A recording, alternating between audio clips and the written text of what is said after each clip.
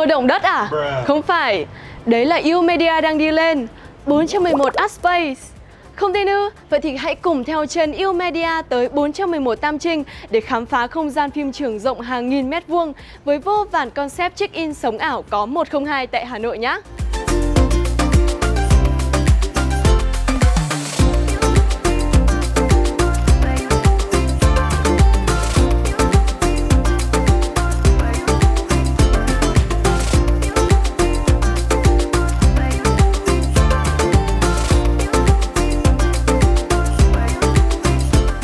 Wow, một không gian vô cùng ấn tượng và đẹp mắt với số lượng đồ decor khổng lồ phục vụ cho bất kỳ concept nào. Và nếu như các bạn đang lo lắng bởi vì thời tiết Hà Nội nắng nóng thì đừng lo nhé bởi vì nơi đây hàng chục khu vực check-in được bố trí điều hòa mặt lạnh luôn các bạn ạ.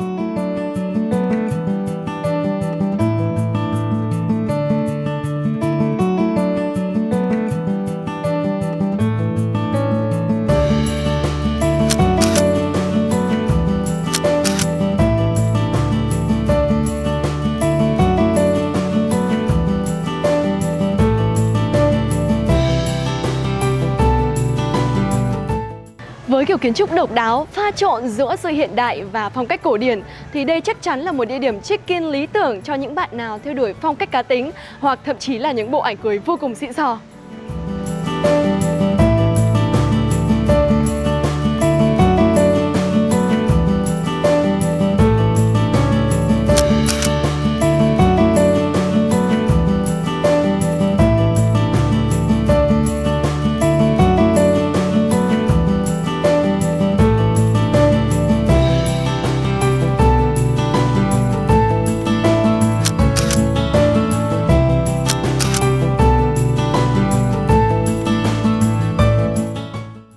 Còn chần chờ gì nữa, hãy lựa chọn cho mình những concept yêu thích để có cho mình những bộ ảnh độc đáo tại 411 Art Space nhé.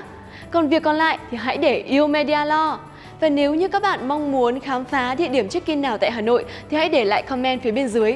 Chúng mình sẽ giúp các bạn có những review chân thực và chính xác nhất nhé. Còn bây giờ, xin chào và hẹn gặp lại!